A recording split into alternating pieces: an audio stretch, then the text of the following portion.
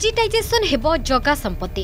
ପ୍ରସ୍ତୁତ ହେବ digital map ଇରିଏଲ୍ survey କରି ଶ୍ରୀ ଜଗନ୍ନାଥଙ୍କ ଭୂ ସମ୍ପତ୍ତିର ସ୍ଥିତାବସ୍ଥା ଅନୁଧ୍ୟାନ କରିବ ଓର୍ସାକ୍ ମଙ୍ଗଳବାର ଅନୁଷ୍ଠିତ ହୋଇଥିବା ଶ୍ରୀମନ୍ଦିର ପରିଚାଳନା କମିଟି ବୈଠକରେ ପାରିତ ହୋଇଛି ଗୁରୁତ୍ୱପୂର୍ଣ୍ଣ ନିଷ୍ପତ୍ତି। ଜଗନ୍ନାଥଙ୍କ ଭୂ ସମ୍ପତ୍ତିର ଡିଜିଟାଲ ରେକର୍ଡ ହେବା ଦ୍ୱାରା ଘରେ ବସି ସହଜରେ ଜମିର ସ୍ଥିତି ବିଷୟରେ ଜାଣିହେବ। ଦୁଇହଜାର ଉଣେଇଶରେ ସୁପ୍ରିମକୋର୍ଟରେ ଦାଖଲ ତଥ୍ୟ ଅନୁଯାୟୀ ରାଜ୍ୟ ତଥା ରାଜ୍ୟ ବାହାରେ ପାଖାପାଖି ଷାଠିଏ ହଜାର ଏକର ଜଗନ୍ନାଥ ଜମି ରହିଛି ସେ ଭିତରୁ ପ୍ରାୟ ଚଉତିରିଶ ହଜାର ଏକର ଜମି ଶ୍ରୀମନ୍ଦିର ପ୍ରଶାସନ ନିଜ ଅକ୍ତିଆରକୁ ଆଣିବାରେ ସକ୍ଷମ ହୋଇଛି।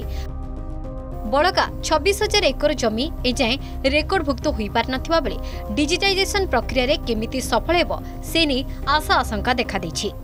ମହାପ୍ରଭୁଙ୍କ ଜମି ବିଷୟରେ ଆଲୋଚନା କରାଗଲା ତା ବିଷୟରେ ଆମର ନିଷ୍ପତ୍ତି ହେଇଛି କି ଅର୍ସେକ୍କୁ ଗୋଟେ ଆମେ ପ୍ରୋଜେକ୍ଟ ଦେବୁ ଅର୍ସେକ୍ ଗୋଟେ ପ୍ରପୋଜାଲ ତୈୟାର କରିକି ଦେବେ ଯୋଉଟାକି ମ୍ୟାନେଜିଂ କମିଟି ଆପ୍ରୁଭ୍ କରିକି ଆମର ଗଭର୍ଣ୍ଣମେଣ୍ଟକୁ ପଠାଇବେ ଆଣ୍ଡ ଗଭର୍ଣ୍ଣମେଣ୍ଟର ଆପ୍ରୁଭାଲ୍ ଆସିବା ପରେ ସେ ପ୍ରୋଜେକ୍ଟ କରାଯିବ ଯୋଉଥିରେ କି ଆମର ଡିଜିଟାଇଜେସନ୍ ହେବ ଲ୍ୟାଣ୍ଡ ରେକର୍ଡସର ତାପରେ ଆମର କେଉଁ କେଉଁ ଜାଗାର ଜମି ଅଛି ସେ ସବୁ ଜମି ବିଷୟରେ ଡିଟେଲ୍ସଟା ଡେଟାବେସ୍ ତୈୟାର କରାଯିବ ସୁପ୍ରିମକୋର୍ଟର ଯେଉଁ ମାନ୍ୟବର ସର୍ବୋଚ୍ଚ ନ୍ୟାୟାଳୟଙ୍କର କୌଣସି କଥାକୁ ରାଜ୍ୟ ସରକାର ମାନୁନାହାନ୍ତି। ପରିଚାଳନା କମିଟି କେବଳ ରାଜ୍ୟ ସରକାରଙ୍କ କଥାକୁ ହଁ କରିବା ପାଇଁ ଗୋଟେ ଖାଲି ଗୋଟେ ଦସ୍ତାବିଜ କରିବା ପାଇଁ ଗୋଟେ ସଂସ୍ଥା ତା ଦେହରେ କର୍ମଚାରୀ ଅଛନ୍ତି ତା ଦେହରେ ଅନୁମୋଦିତ ସଦସ୍ୟ ଅଛନ୍ତି। ତେଣୁ ଏଥିରେ ଯେ ଓଡ଼ିଶା ଯେଉଁ ସ୍ପେସ୍ ଆପ୍ଲିକେସନ ସେଣ୍ଟର ଓସାକୁ ଯେଉଁ ଦାୟିତ୍ୱ ଦେଇଛନ୍ତି ଏହା କେବଳ ଏଇ ଲୋକଙ୍କୁ ଭୁଆଁ ବୁଲିବା ପାଇଁ ଏଥିରେ ପ୍ରକୃତରେ ଜଗନ୍ନାଥ ମନ୍ଦିରଙ୍କର ବା ଜଗନ୍ନାଥ ମନ୍ଦିରର କୌଣସି ହିତ ସାଧିତ ହେଲା ଭଳି ଲାଗୁନାହିଁ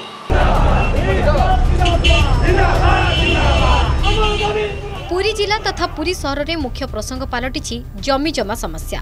ୟୁନିଫର୍ମ ପଲିସିର ସରଳୀକରଣ କରି ଦୁଇହଜାର ତିନି ୟୁନିଫର୍ମ ପଲିସି ଲାଗୁ କରିବାକୁ ପୁରୀବାସୀ ଦୀର୍ଘ ବର୍ଷ ହେବ ଆନ୍ଦୋଳନ ଜାରି ରଖିଛନ୍ତି।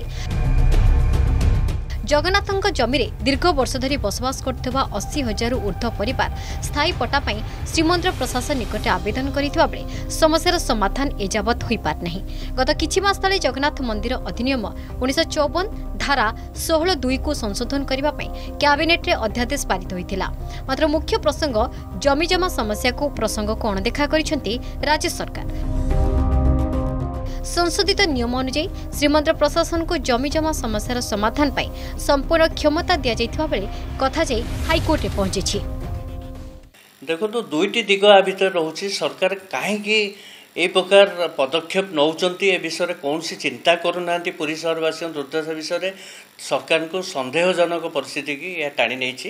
ସେ ସରକାର କୋଟି କୋଟି ଟଙ୍କା ରାଜସ୍ୱ ଯେଉଁ ପାଇବା ସେ ହକଦାର ସେ ବିଷୟରେ ଜଗନ୍ନାଥ ମନ୍ଦିରର ଜମିଜମା ସମାଧାନ ନ କରିକି ତାକୁ ରାଜସ୍ୱ ହାନି ହେଉଛି ଗୋଟେ ଦିଗରେ।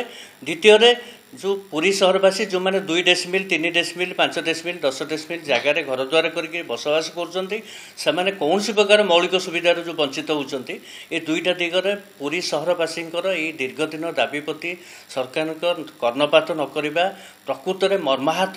ଡିଜିଟାଇଜେସନ୍ ହେଲା ସେଥିରେ ଆମର କିଛି କହିବାର ନାହିଁ। ଡିଜିଟାଇଜେସନ୍ ହଉ କିନ୍ତୁ ଜିନିଷ ହେଉଛି ଭୂସମ୍ପତ୍ତି ସୁରକ୍ଷା ପରିଷଦ ଯେଉଁ ଲୋକମାନେ ମଠଠୁ ସମ୍ପତ୍ତି କିଣିଛନ୍ତି section nineteen approval from endowment commissioner ସେମାନେ କାହିଁକି କିଛି ତ ବିଷୟରେ ଆଲୋଚନା ହେଲାନି ପରିଚାଳନା କମିଟିରେ କିଛି ନିଷ୍ପତ୍ତି ଦିଆ ନିଆଗଲାନି।